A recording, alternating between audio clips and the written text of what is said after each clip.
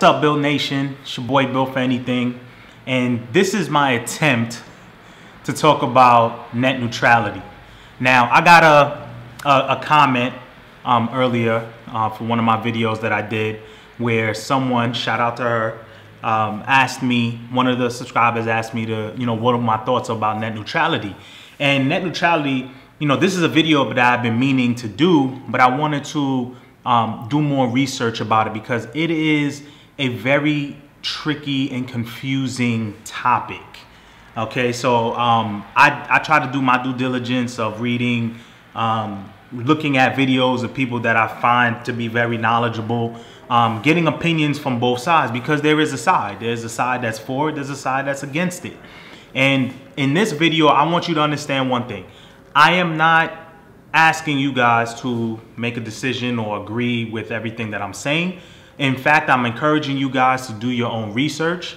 Um, but what I will say is this I'm not going to be against something because of, for example, uh, President Trump is for it, so that means I'm automatically against it. And I'm not going to be for something simply because President Obama introduced it, and so that means that I should I should be supportive of it. That means that it should be good. I think both of those mindsets are completely wrong. Um, not everything is going to be good for everyone. Um, but there is one thing that's been pretty consistent um, in a belief of mine is that when the government comes out with legislation, they don't really think about us. Us being me and you, the people, okay? Um, they can put a fancy word around it. They can call it whatever, make it sound very attractive and, you know, so you could put your guards down nine out of 10 times, they're not thinking about me and you. There's a bigger picture involved. Um, there's money being exchanged somewhere along the way. Somebody else is benefiting, which is usually the government or some other large corporations, other than me and you.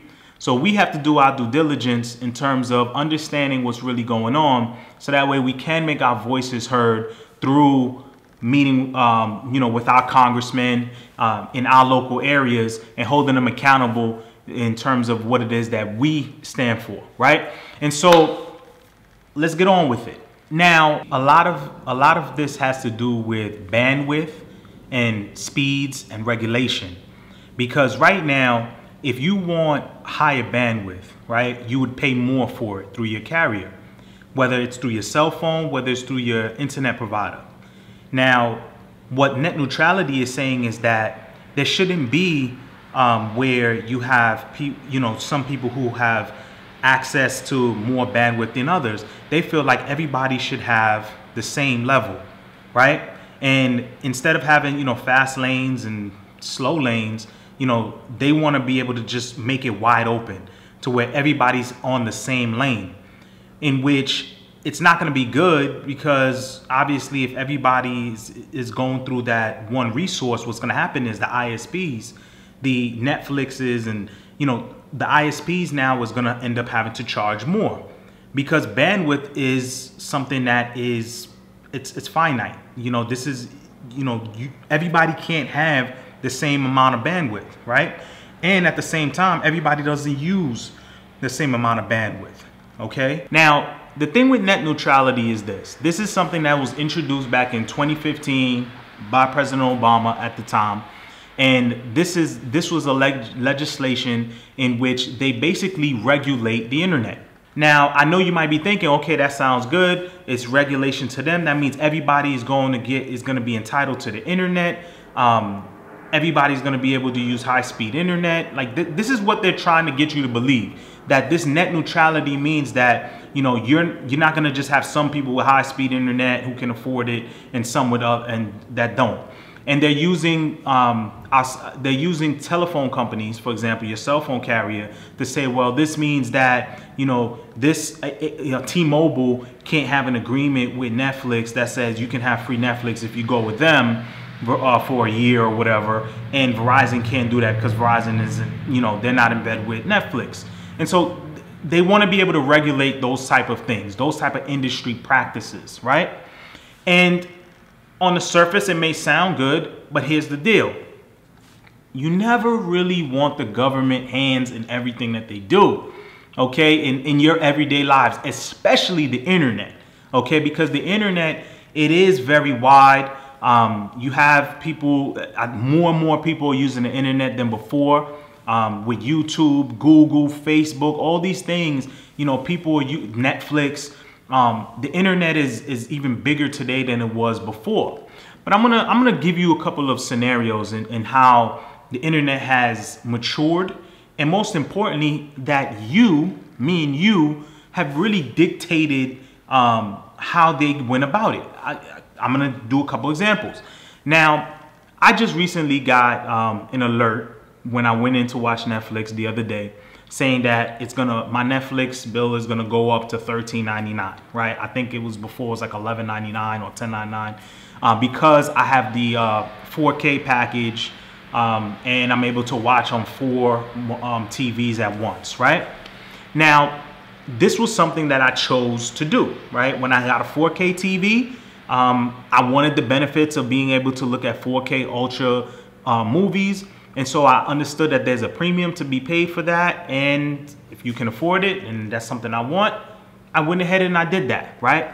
I didn't have to do that, okay? That's me. You might not care for that. You might not have a 4K TV. You, you, you may not need to have access to four different um, computers at the same time watching it. That may not, you don't care about that. So guess what? You're gonna pay less than me, right? That's the choice that we have, right? It's not that I need to be regulated to where I can't have that as an option or you feel like you're you're entitled to it the same way I'm entitled to it. But they understand that everybody is not going to be on board with that, right? And so brings me to another example. You have your cell phones. I have Verizon. Verizon over the last couple of months brought back their unlimited data, their unlimited LTE.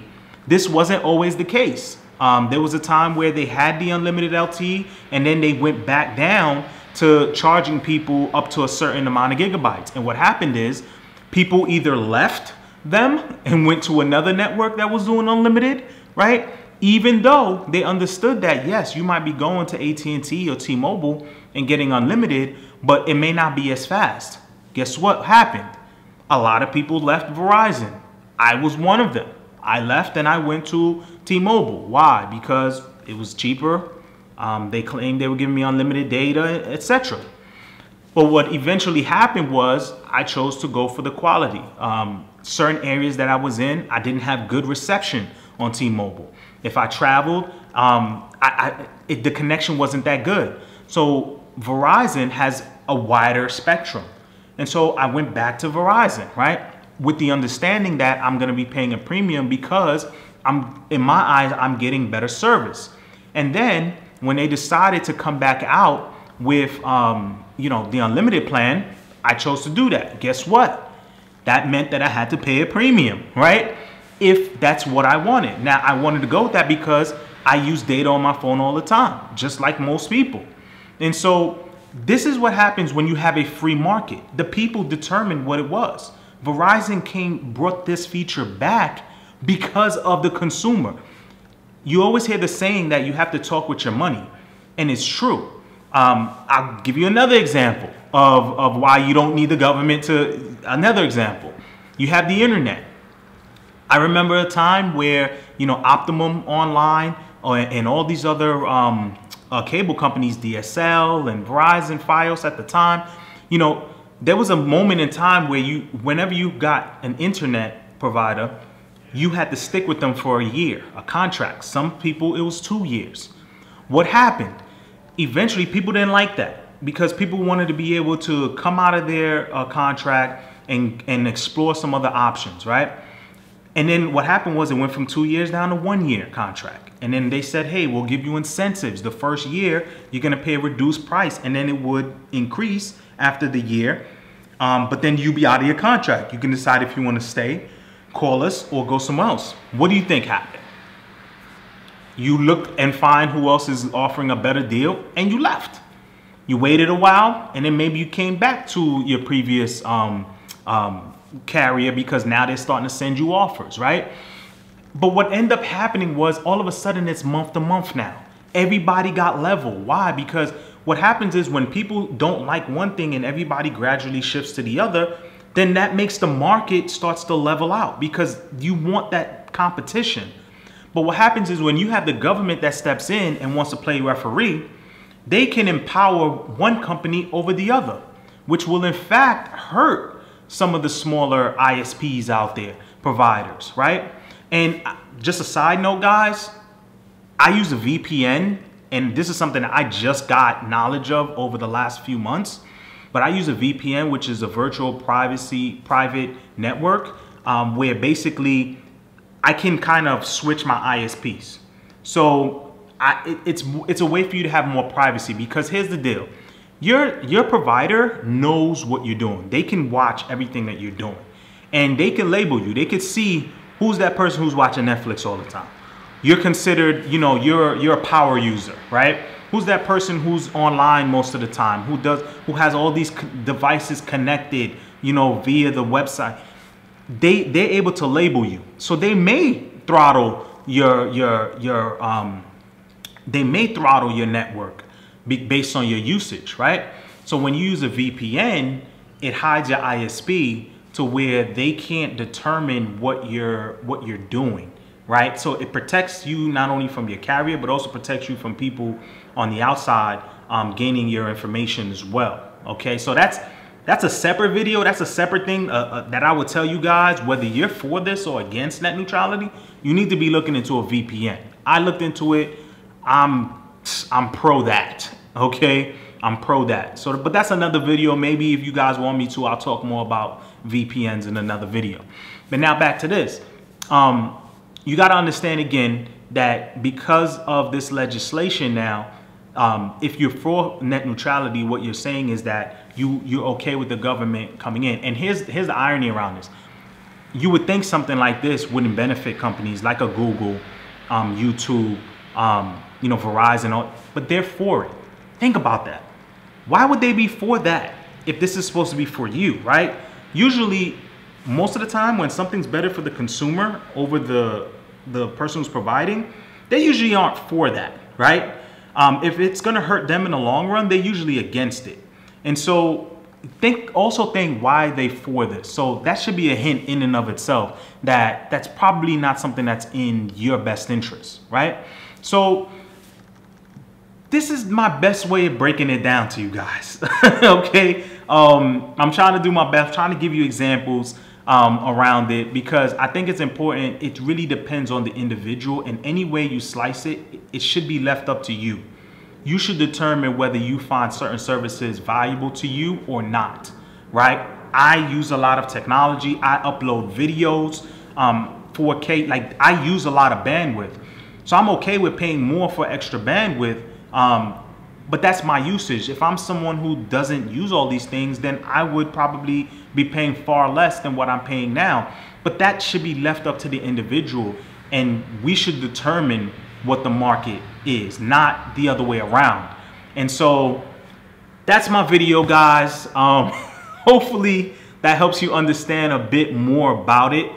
Um, you got to understand that even going a little further, that if you have this net neutrality in place, a lot of people are concerned that they can be censored. You know, you have some people on YouTube who talk about certain topics, um, you know, whether it's political, religion or whatever it is that usually you're going to have biases and you're going to have people from both sides that are very you know um, pro this or pro that um, they're going to try they're going to obviously reduce you know they have the under this net neutrality they have the ability youtube google they have the ability to reduce the content that's that's being viewed on those things that they find is not in line with them and that's not something that you want you know, this this system isn't broken. You know, don't you don't need the government to fix it. My opinion.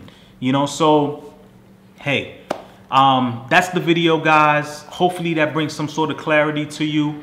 Um, it is something worth looking into uh, if you're somebody who honestly everybody should be aware of what's going on with that if you use the internet in any way shape or form because it does impact you now the net neutrality was repealed a couple days ago um, so that's a good thing. Uh, you know, I'm I'm against it personally, uh, but again, I go. That's based on the knowledge and the information that I have uncovered. So I'm not faulting you whether you're for it or against it. All I'm saying is do your research and don't make it about left wing, right wing, President Trump or this and that.